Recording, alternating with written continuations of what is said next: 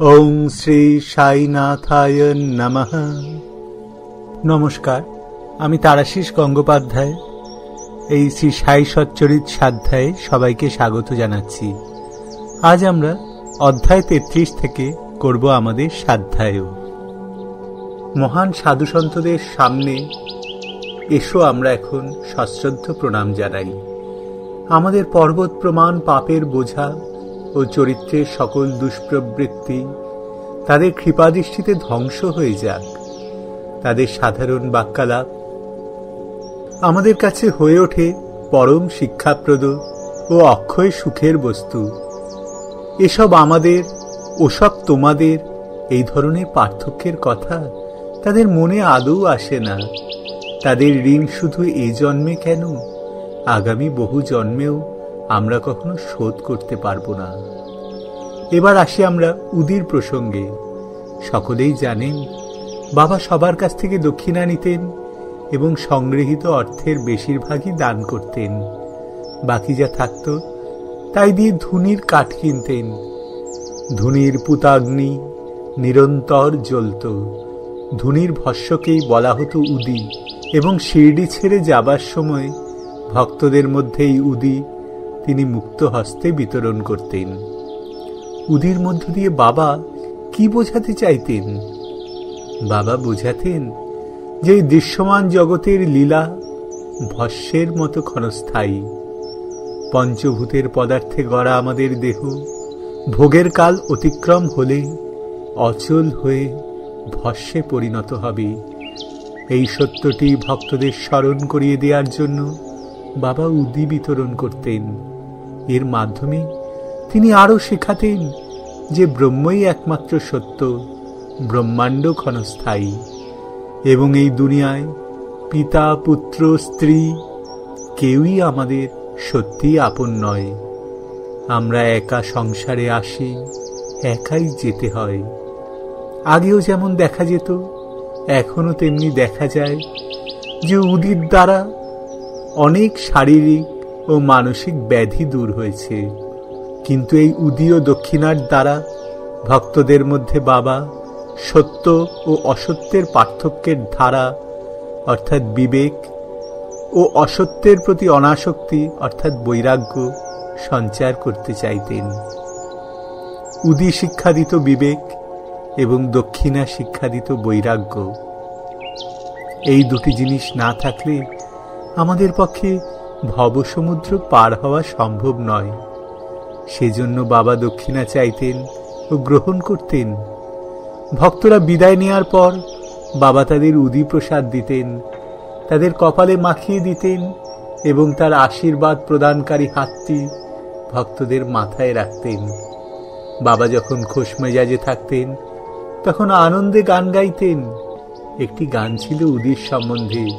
সে গানটি হল রমতে রাম, আও জি আও জি, উদিয়া কি গনিয়া, লাও জি। এর ভাবার্থ হচ্ছে, হে ক্রীড়া চপল রাম, এসো এসো, উদির বস্তা সঙ্গে নিয়ে এসো। বাবা অতি পরিষ্কার ও সুমিষ্ট কণ্ঠে গাইতেন। এই হলো উদির আধ্যাত্মিক প্রসঙ্গ। এছাড়া বৈষয়িক গুরুত্বও আছে। স্বাস্থ্য, সম্পদ, দুশ্চিন্তা থেকে অব্যাহতি ও অন্যান্য বহু জাগতিক লাভ উদির সাহায্যে হয়ে থাকে। সেজন্য জাগতিক ও আধ্যাত্মিক উভয় লাভই এতে আমাদের হয়। আমরা এখন উদির সম্বন্ধে কয়েকটি গল্প শুরু করব।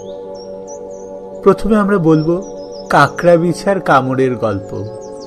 নাসিকের নারায়ণ মতিরাম জানি বাবার একজন ভক্ত ছিলেন। রামচন্দ্র বামন মোদক নামে বাবার আরেকজন ভক্তের অধীনে তিনি কাজ করতেন। একবার তিনি তার মাকে সঙ্গে নিয়ে বাবাকে দেখতে এলেন। বাবা তখন মহিলাকে বললেন যে, তার ছেলেকে আর কারও অধীনে কাজ করতে হবে না। সে এখন থেকে স্বাধীন ব্যবসা শুরু করবে। কয়েকদিন পরেই এই কথা ফলল। নারায়ণ জানি চাকরি ছেড়ে দিয়ে আনন্দ আশ্রম নামে একটি ভোজনালয় স্থাপন করলেন। সেটি খুব ভালো চলতে লাগল। একবার এই নারায়ণ রাওয়ের এক বন্ধুকে কাঁকড়া বেছে কামড়ালো। অসহ্য বেদনায় কষ্ট পেতে লাগলেন। এসব ক্ষেত্রে উদি অত্যন্ত ফলপ্রসূ। বেদনার জায়গায় লাগানোর জন্য নারায়ণ রাও উদির সন্ধান করতে লাগলেন, কিন্তু পাওয়া গেল না। তখন বাবার ছবির সামনে দাঁড়িয়ে তার সাহায্য করুণা প্রার্থনা করলেন, বাবার নাম জপ করলেন তারপর ছবির সামনে রাখা, জ্বলন্ত ধূপকাঠির ছাই আঙুলে করে নিয়ে বাবার উদি মনে করে যন্ত্রণার জায়গায় লাগিয়ে দিলেন। আঙুল সরিয়ে নেওয়ার সঙ্গে সঙ্গে ব্যথাও দূর হয়ে গেল। দুজনেই এতে বিস্ময়াভিভূত ও আনন্দিত হলেন। এবার আসা যাক বিউবনিক প্লেগ্রোগ প্রসঙ্গে। একবার বান্দ্রার এক ভদ্রলোক খবর পেলেন যে তার মেয়ে বিউবনিক প্লেগ রোগে আক্রান্ত হয়েছে। তার সঙ্গে উদি না থাকায় তিনি নানা সাহেব চন্দরকরকে খবর পাঠালেন যে কিছু উদি তাকে যেন পাঠানো হয়। নানা সাহেব যখন খবর পেলেন, তখন তিনি থানা রেল স্টেশনের কাছে একটি রাস্তা ধরে সস্ত্রিক কল্যাণের পথে রওনা হয়েছেন। তার কাছে তখন উদি ছিল না। তিনি রাস্তা থেকে খানিকটা মাটি তুলে এনে সাই বাবার ধ্যান করলেন এবং তার সাহায্য প্রার্থনা করে সেই মাটি নিজের স্ত্রীর কপালে মাখিয়ে দিলেন। ভক্ত ভদ্রলোক মেয়ের বাসগৃহে পৌঁছবার পর জানতে পারলেন, তিন দিন ধরে ভুগবার পর নানা সাহেব যখন স্টেশনের কাছে বাবার প্রার্থনা করেছিলেন, ঠিক সেই সময় থেকেই তার মেয়ে সুস্থ হতে শুরু করেছে। খুব আনন্দিত হলেন তিনি। এবার আমরা আসি জামনারের অলৌকিক ঘটনা প্রসঙ্গে। আনুমানিক উনিশশো চার থেকে উনিশশো পাঁচ সালে খানদেশ জেলার জামনার নামে একটি জায়গায় মামলাদ্দার ছিলেন নানা সাহেব চন্দরকার। এই জায়গাটি শিরডি থেকে একশো মাইল দূরে। তার কন্যা ময়নাতাই ছিলেন আসন্ন প্রসবা। দুই তিন দিন যাবৎ প্রসব বেদনায় তিনি কষ্ট পাচ্ছিলেন এবং অবস্থাও জটিল হয়ে উঠেছিল। নানা সাহেব কোনো চেষ্টাই বাদ রাখলেন না। কিন্তু সব ব্যর্থ হল। তখন বাবাকে মনে পড়ল এবং তিনি বাবার কাছে করুণা ও সাহায্য ভিক্ষা করলেন। একদিন শিরডিতে রামগীর বুভা নামে একজন ভক্ত তার জন্মস্থান খান্দেশে ফিরে যেতে চাইলেন। বাবা তাকে ডেকে বললেন, বাড়ি যাবার পথে জামনারে নেমে সে যেন নানা সাহেবকে উদি ও আরতি দিয়ে যায়।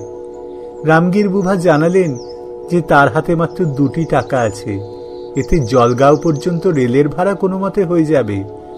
কিন্তু সেখান থেকে জামনার প্রায় তিরিশ মাইল। অত দূর যাবার পয়সা তার নেই। বাবা ভরসা দিলেন যে চিন্তার কিছু নেই, সব কিছুই তাকে দেয়া হবে। বাবা যখন শ্যামাকে মাধব আতকার রচিত আরতির একটি নকল লিখতে বললেন এবং উদি ও নকলটি রামগীর বুভার মারফত নানা সাহেবকে পাঠাতে বললেন। বাবার কথায় নির্ভর করে রামগীর বুভা শিরডি ত্যাগ করে প্রায় রাত দুটো পঁয়তাল্লিশ মিনিটে জলগাঁও পৌঁছলেন। তার পকেটে তখন দুয়ানা পয়সা। বড়ই কঠিন অবস্থা।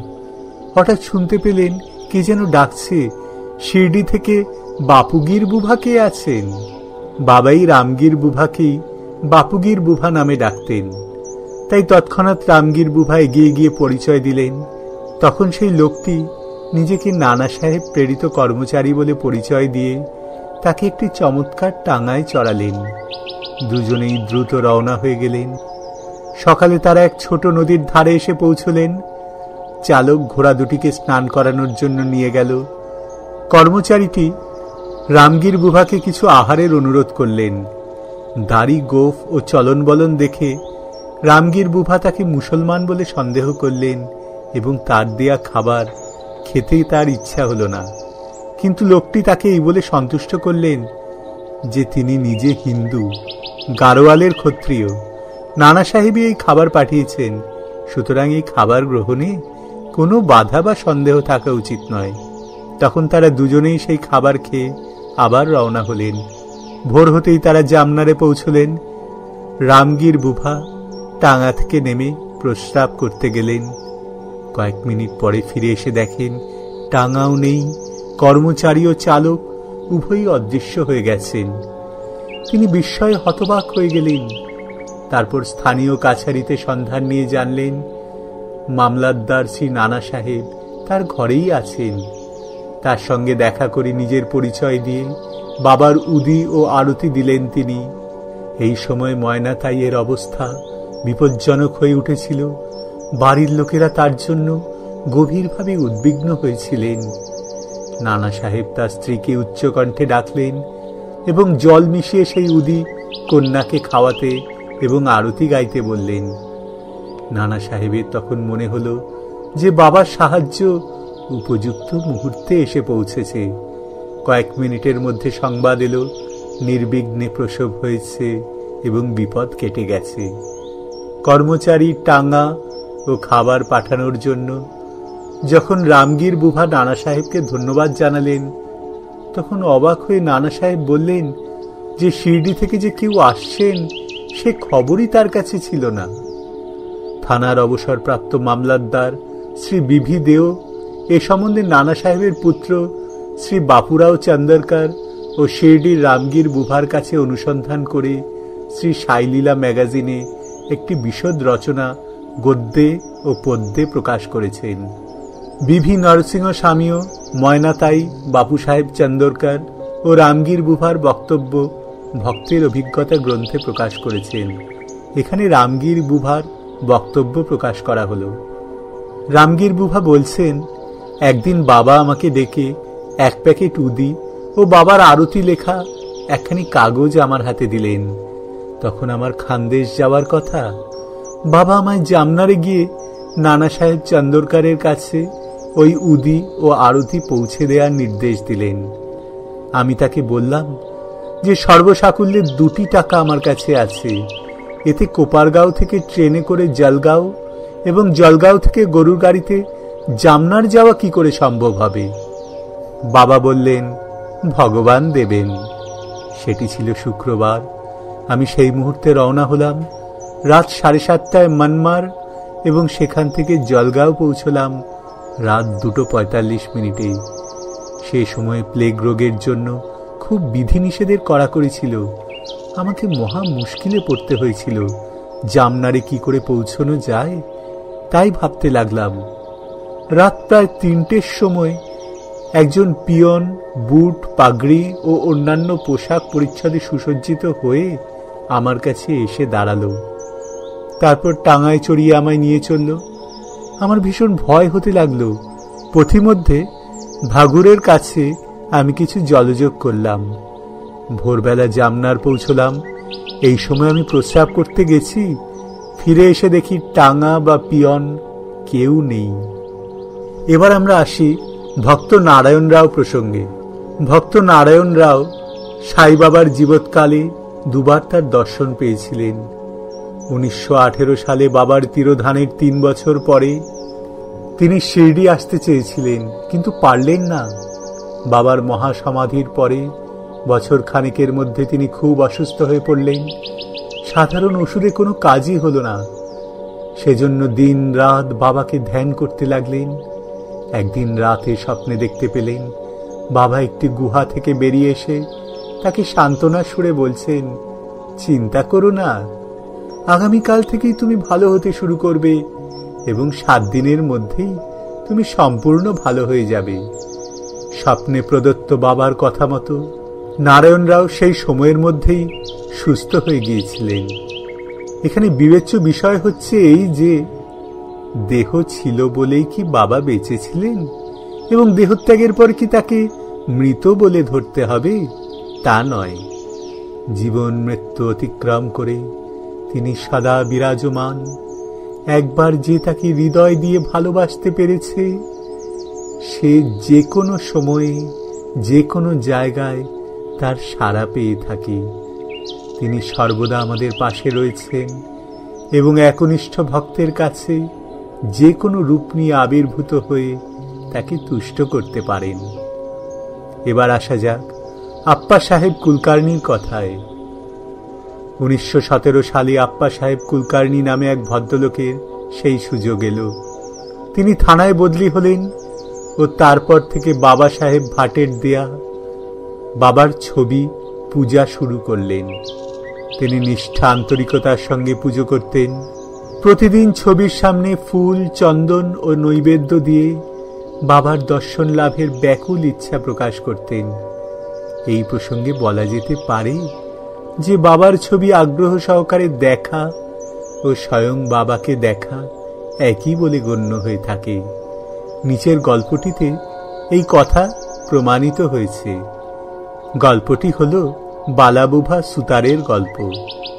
উনিশশো সতেরো সালে বোম্বে থেকে বালাবুভা সুতার নামে একজন সাধু সেবার প্রথম শিরডিতে এলেন। তার দয়া, ভক্তি ও ভজনের গুণাবলীর জন্য তাকে একালের তুকারাম নাম দেয়া হয়েছিল।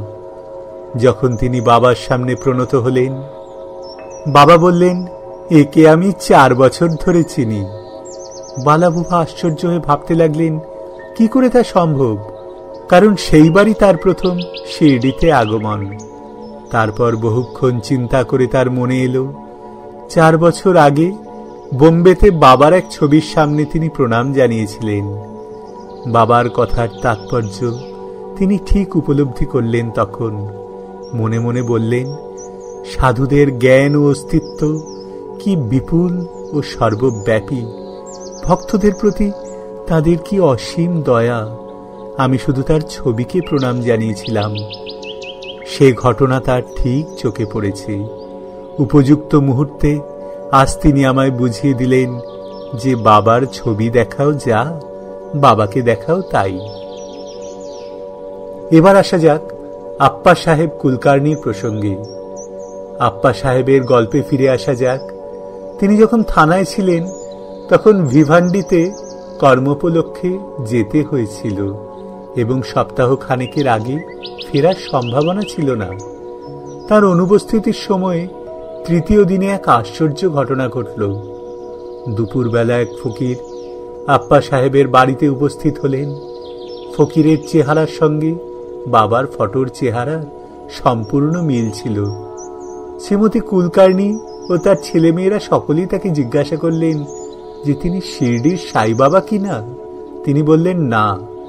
তবে জানালেন যে তিনি সাই বাবার একজন অনুগত ভৃত্য এবং তারই আদেশে পরিবারের সকলের কুশল বার্তা নিতে এসেছেন। তারপর তিনি দক্ষিণা চাইলেন। মহিলাটি তাকে একটি টাকা দিলেন।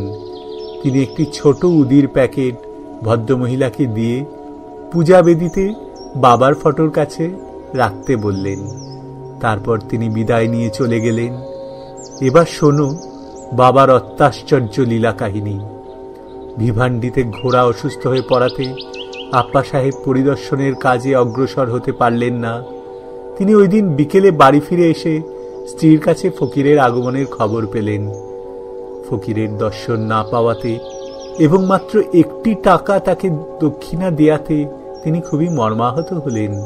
বললেন যে তিনি নিজে উপস্থিত থাকলে দশ টাকার কম দক্ষিণা কখনো দিতেন না।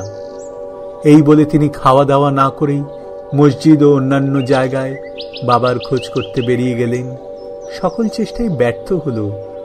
পরে বাড়ি ফিরে এসে তিনি খাওয়া দাওয়া করলেন। পাঠকদের স্মরণ থাকতে পারে। বত্রিশতম অধ্যায়ে বাবা উপদেশ দিয়েছিলেন যে খালি পেটে ভগবানের সন্ধান করা উচিত নয়। আপ্পা সাহেব সেই শিক্ষাই পেলেন। আহারাদি সেরে যখন তার এক বন্ধু শ্রীচিত্রের সঙ্গে ভ্রমণে বেরিয়েছেন, তখন খানিকটা গিয়ে দেখলেন একটি লোক তাড়াতাড়ি তাদের দিকে এগিয়ে আসছেন। আপ্পা সাহেব দেখলেন, লোকটির ঠিক বাবার ছবির মতো চেহারা। মনে করলেন, ইনি নিশ্চয়ই সেই ফকির। ফকির এসেই হাত পাতলেন দক্ষিণার জন্য। আপ্পা সাহেব একটি টাকা দিলেন। ফকির বারবার দাবি করায় আরও দুটি টাকা দিলেন। তাতেও যখন সন্তুষ্ট হলেন না ফকির, তখন শ্রীচিত্রের কাছ থেকে তিন টাকা ধার করে দিলেন।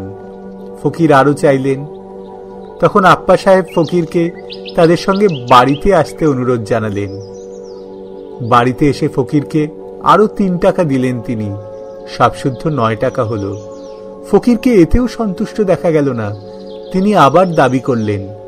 আপ্পা সাহেব বললেন, একটি দশ টাকার নোট রয়েছে। ফকির সেটি নিয়ে নয়টি টাকা তাকে ফেরত দিলেন। নয় সংখ্যাটিও তাৎপর্যপূর্ণ। এতে নববিধা ভক্তি সূচিত হয়। এখানে উল্লেখযোগ্য যে বাবা মহাপ্রয়াণের সময় লক্ষ্মীবাই সিন্দে নামে এক মহিলাকে নয়টি টাকা দিয়েছিলেন। আপ্পা সাহেব উদির প্যাকেটটি খুলে দেখলেন, কিছু ফুল, পাতা ও আতপ চাল রয়েছে। তার কিছুদিন পরে তিনি শিরডিতে গিয়ে বাবার কাছ থেকে একটি চুল পান। তিনি ওই উদির প্যাকেট ও চুল একটি মাদুলিতে ভরে সবসময় বাহুতে ধারণ করতেন। উদির শক্তি মাহাত্ম আপ্পা সাহেব বুঝতে পারলেন। তীক্ষ্ণ বুদ্ধি সম্পন্ন হওয়া সত্ত্বেও প্রথম দিকে তিনি মাসে চল্লিশ টাকা বেতন পেতেন। কিন্তু বাবার ছবি উদি পাবার পর থেকে তিনি প্রভূত প্রভাব ও ক্ষমতার অধিকারী হলেন এবং পার্থিব উন্নতির সঙ্গে সঙ্গে তার আধ্যাত্মিক উন্নতিও দ্রুত হতে লাগল। সেই কারণে বাবার উদি পাওয়ার সৌভাগ্য যাদের হয়েছে তারা স্নানের পরে কপালে মাখবেন এবং সামান্য একটু উদি জলে মিশিয়ে পুতবাড়ি হিসেবে খাবেন। এবার আসি হরিভাউ কার্নিকের কথায়। উনিশশো সতেরো সালে থানা জেলার দাহানুর হরিভাউ কার্নিক শিরডিতে এলেন। গুরু পূর্ণিমার দিন আনুষ্ঠানিকভাবে তিনি বাবার পূজা করলেন। বাবাকে বস্ত্র ও দক্ষিণা অর্ঘ্য দিয়ে সামার মারফত বাবার বিদায় অনুমতি চাইলেন। তারপর তিনি মসজিদের সিঁড়ি দিয়ে নেমে এলেন। এমন সময় তার মনে হলো, বাবাকে আরও একটি টাকা তার দেয়া উচিত। এই ভেবে যেমনি সিঁড়ি বেয়ে ফের উঠতে যাবেন, এমন সময় শ্যামা ইঙ্গিতে তাকে চলে যেতে বললেন, কারণ বাবার অনুমতি পাওয়ার পর আর ফিরে আসা উচিত নয়। হরিভাউ রওনা হয়ে গেলেন। যাবার পথে যখন তিনি নাসিকের কালারামের মন্দিরে দর্শনের জন্য ঢুকলেন তখন সন্ত নরসিংহ মহারাজ মন্দিরের ভিতর বড় দরজার পাশেই ভক্ত পরিবৃত হয়ে বসেছিলেন। হরিভাউ ঢুকতেই তিনি ভক্তদের ছেড়ে তার সামনে এসে হাতটি ধরে বললেন, আমার টাকাটা দাও। কার্ণিক আশ্চর্য হলেন এবং অতি আগ্রহের সঙ্গে তাকে একটি টাকা দিলেন। তিনি চিন্তা করলেন, যে টাকাটি সাই বাবাকে তিনি দিতে চেয়েছিলেন সেটি যেন সাই বাবা এইভাবেই নিলেন। এই গল্প প্রমাণ করে যে সব সাধুসন্তই মূলত এক এবং তারা একত্র হয়ে কাজ করেন। এইখানেই শেষ হল আমাদের তেত্রিশতম অধ্যায়ের সাধ্যায়। ওম শ্রী সাই বাবায় নমঃ। শান্তি শান্তি শান্তি।